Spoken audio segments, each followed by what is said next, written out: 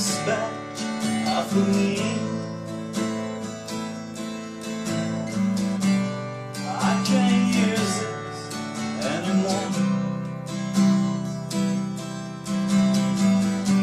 It's getting dark, too dark to see.